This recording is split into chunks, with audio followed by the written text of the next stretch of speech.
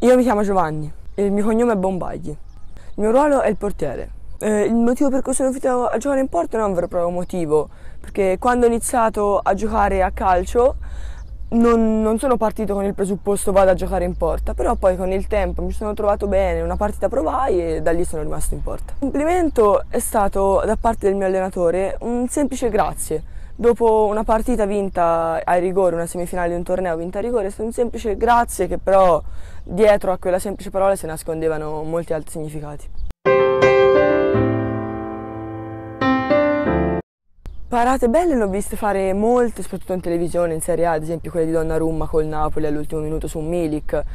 Però anche ogni tanto mi sembra, pare che qualcosa ci cavi, insomma, mi riesca a fare qualche bella parata. Ad esempio un rigore parato un anno fa, più o meno rigore messo sulla destra e all'ultimo minuto si stava solo 1-0 per noi, all'ultimo minuto di parare il rigore e fu una bella emozione soprattutto perché tutti i compagni vennero a festeggiare con me.